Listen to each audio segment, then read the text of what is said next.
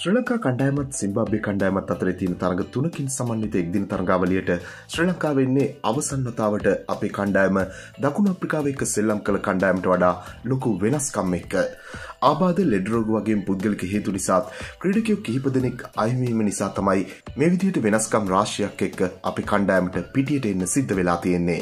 ශ්‍රී ලංකා කණ්ඩායමේ ආරම්භක ප්‍රතිකරුව විදිහට සිම්බාබ්වේ කණ්ඩායම එක්ක තරඟාවලියට කුසල් මෙන්දිස් එක්ක පැතුම් නිශ්ශංක එනවා කියලා තමයි දසුන් ශානක තරඟයට කලින් මාධ්‍ය එක්ක කිව්වේ. තරඟ තහනමින් පස්සේ මාස 6කට පස්සේ තමයි කුසල් සිම්බාබ්වේ කණ්ඩායම එක්ක තරඟාවලියේදී ශ්‍රී ලංකා කණ්ඩායම නියෝජනය කරන්න බලාගෙන ඉන්නේ. එල්පල් තරගාවලේ සුපිරි දක්ෂතා පෙන්න්නපු කුසල් ඒ තරගාවලේ කඩු රකින්නා බවට පත් වනාට මේ තරගාවලේදී දිනිශ් චන්දිමාල්ලින්න නිසා ගොඩක් කලාවට චන්දි කඩු රකී. කණ්ඩායමේ අංක තුන ගොඩක් ලාවට කමිදු මෙන්දිස්ට ලැබෙන්න පුළුවන් ඒ මුණ චන්දි හතරත් චරිත් පහත් දසුන් අංක හය ප්‍රතිකරුවා විදිහටත් පිටියටයි වනිදු නැති නිසා ඒතන ජෙෆ්‍රි වැන්ඩසේට හිමිවෙන්න තියෙන ඉඩ ගොඩක් වැඩි චාමික එක්ක නුවන් ප්‍රදීප් සහ නුවන් තුෂාර පළවෙනි තරගේ වේග පන්දයවන්න විදිහට සෙල්ලම් කරන්න තියෙන ඉඩකඩ ගොඩක් වැඩි.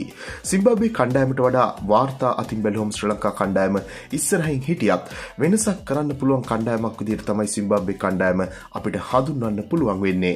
නායක දසුන් කියන්නේත් ඕනෑම කණ්ඩායමක් අභියෝගයක් කියලා හිතාගෙන සෙල්ලම් කරනවා කියලා. ඇත්තටම සිම්බාබේ කණ්ඩායම හොඳ කණ්ඩායමක්. අපිට මේ තරඟ තුනම දිනන්න ඕන.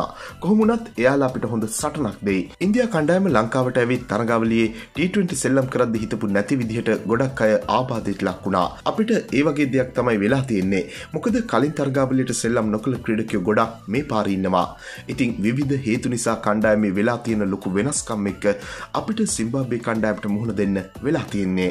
කොහොමුණත් මේ විදිහ වෙනස්කම් වනත් ඉන්දයා කණ්ඩායමට වනා වගේ දෙයක් සිම්බාබේ කණ්ඩායමේ සරහා අපිට නොවේවා කියලා අපි ප්‍රාර්ථනා කරමු. මෙනි වීඩියෝ දිනපතා බලන්න අපත් සමග එකතුවන්න ඔබ තවමත් අපි චැනල එක සබස්ක්‍රයිබ් කල නැත්තං දෙම අපිය සබස්ක්‍රයිබ් කරන්නත් ක්‍රිකට්වලට කැමති ඔබේ යහලුකට බලන්න මේ වීඩිකෂයා කරන්නත් අමත කරන්න එපා. ක්‍රගට් පිටිය නැවන්දේ සපිරි තවත් අලුත් වීඩියෝවකින් හමුවනතෙක් ක්‍රිකට් ලංකාවෙතින් ඔබට සුබදවසක්